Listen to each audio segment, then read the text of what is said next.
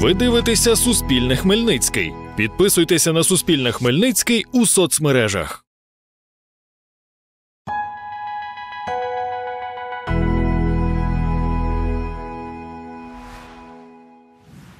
У Хмельницькому попрощались із двома загиблими військовими. У лісових грінівцях ризикують розкопати сибірську виразку. На місці колишнього скотомогильника звільняють територію під будівництво. Відремонтувати будинок і відкрити родинну майстерню. Родина з Краматорська обживається на Хмельниччині. У Свято-Георгіївському храмі попрощалися 41-річним воїном Дмитром Петрашем. Він виріс у мікрорайоні Дубове і маленьким часто приходив у бібліотеку з батьками, пригадує пані Катерина. Він любив читати все, він любив спілкуватись. Це була настільки світла дитина, я його називала ангел світлий. Дмитро був гарним батьком, розповідає подруга сім'ї Лілія. А він батько такий, що, що діти завжди біля нього. Я не знаю, це втрата дуже і для дітей, і для родини, і для, для нашої вітчизни. Він загинув на лімані. І його останні повідомлення 16-го, це мені сестра давала почитати, Ксюшка. Що він сказав, що я зараз іду і напевно вже не повернусь. Тобто там був дуже важкий напрямок. Починав службу півроків тому на Донеччині у 19-му окремому стрілецькому батальйоні, розповідає його побратим з позивним Бобер. прекрасно знал, куда он едет. Прекрасно знав, куди він їде, що з ним буде, бо всі ми знали, що там відбувається. Але взяв себе в руки як командир, як відповідальна людина і поїхав туди. Дмитро Петраш, за словами побратима, був молодшим лейтенантом, командиром третього взводу. У нього залишилися батьки, восьмирічний син, вагітна дружина. Попрощалися 48-річним загиблим воїном Іваном Задворним. Він воював з 2014 по 2019 роки, каже його брат Микола Яцюк. Він був захисником України під час антитерористичної операції. А коли почалося повномасштабне вторгнення, в перших рядах пішов на захист батьківщини.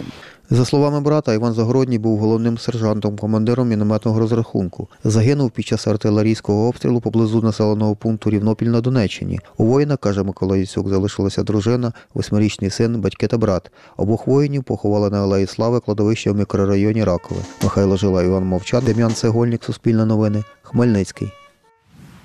На ділянці біля будинків жителів кооперативу Молодіжний села Лісові Гринівці вирубують дерева. Як розповідає голова кооперативу Микола Сидоренко, будівельники розчищають землю для власників, які отримали її під особисте селянське господарство. Жителі ближніх садиб не дають робітникам працювати, бо кажуть, намагаються запобігти екологічній катастрофі.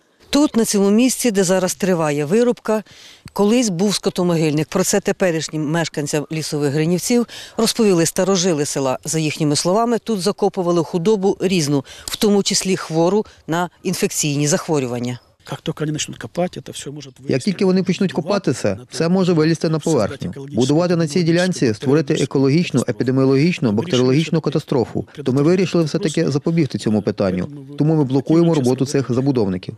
Ця ділянка, розповідає сільський голова Віталій Гралюк, на генеральному плані значиться як територія зелених насаджень спецпризначення, на якій заборонено забудову, оскільки, каже, корінним жителям села відомо, що тут закопували загиблу від хвороб худобу. Сільська рада не давала туди ніяких ні дозволів, ні погоджень, ні на будівництво, ні на будь-які інші роботи. Та виявилося, що земля приватизована і в неї кілька власників, які мають законні документи на володіння. Таку інформацію на запит сільської ради надали в Держгеокадастрі, розповідає спеціаліст відділу архітектури і землеустрою сільської ради Микола Ткачук. За його словами, заросла самосівом дерев ділянка не була включена в фонди лісового господарства, а надана власнику в 2005 чи 2006 році на публічній кадастровій карті з'явилася в минулому році. Торік стало відомо, що в неї кілька власників.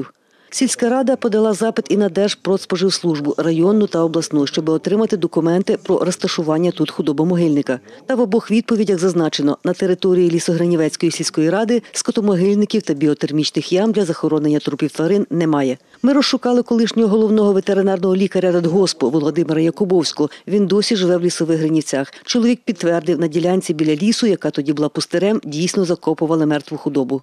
В основному хворому, бо тоді не давали так, щоб аж пропало. Тоді їли, дорізали, а вже як зовсім хворі, то тоді хоронили. То, що тоді сибірська язва була, то я, наприклад, більш чим впевнений. А спори сибірської язви живуть в ґрунті 300 років. Хворіють і тварини, і люди. Це небезпечна штука. Скотомогильники розкопувати це небезпечно. Професорка екології Наталія Міронова телефоном коментує. Розробка таких домомогильників представляє собою загрозу для навколишнього середовища, тому що сама по собі е, сибірська е, виразка вона є небезпечною. Міграція е, цих спорових форм цієї хвороби вона можлива і через ґрунтові води при відкритті можливе надходження до атмосферного повітря, а потім відповідно до людини і тварини. Поки що місцеві перешкоджають розробці земельної ділянки і наразі земляні роботи не ведуться, каже голова кооперативу. Та власники мають законне право розпоряджатися землею на власний розсуд. Хмельницька юристка Руслана Слободянюк каже. Хоч і це приватна власність, але вона не має нести е, загрозу довкіллю. Без повідомлення всіх інших е, зробили е, ці документи і затвердили незрозуміло що. То тепер питання в тому, дійсно, хто видавав цю дозвільну документацію, на підставі чого, на підставі яких дозволів. Ці всі дозволи виходять незаконні, і треба починати звідти, скасовувати ті дозволи. Адвокатка радить пройти цей довгий, але необхідний шлях скасування дозволів на розробку цієї землі. Світлана Поробок, Іван Мовчан, Суспільне новини, Хмельниччина. Тут настільки все було заросше, що ем, навіть ми не мали як пройти.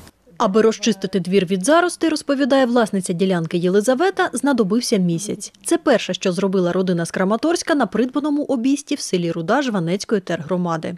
Тут у нас такий молодий сад. Тут є в нас черешні, яблука, груші. Е, Також ми поставили криничку, замінили вже на нову. Е, Поставили вже насос, провели каналізацію в будинок, воду завели. Чи садитиме цього року город, каже жінка, ще не знає. Ще треба попрацювати, щоб тут можна було щось садити. М, Коріння викорчовувати багато треба ще. Тобто роботи, роботи ще багато. З вибором ділянки родина не вагалася. По-перше, нам е, сподобалось, що, що знаходиться він в центрі села, недалеко і від медпункта, і магазини, все рядом. Е, По-друге, так як ми плануємо е, відкривати своє якесь виробництво, то нам підійшло, е, що тут є е, приміщення саме для того, щоб е, з чогось розпочати справу свою. Це приміщення буде саме під виробництво.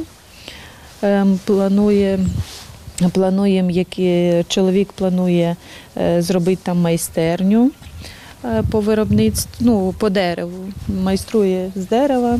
Чоловік Єлизавети військовий, зараз боронить Україну. Вона ж розповіла, тим часом займається плануванням будинку, в якому 6 років ніхто не жив. Тут ми плануємо зробити ем, вітальню, і е, в цьому куточку у нас буде кухня-студія, е, з'єднана з вітальнею. Е, Тут маленьке приміщення, тут в нас буде ванна, туалет. Ну, Поки, каже Єлизавета, вона з трьома неповнолітніми дітьми живе в орендованому будинку і потроху облаштовується в новому. Торік у родині з'явилася смугаста кішка. Її звати Фрося. Це наша домашня така улюблениця. Вона молодець, вона ловить мишей, вона заслуговує на повагу, на любов. Єлизавета чекає на завершення війни і повернення чоловіка додому. Разом, каже, дороблять будинок і відкриють майстерню. Ярослава Антошевська, Олександр Горішевський, Суспільне новини, Хмельниччина.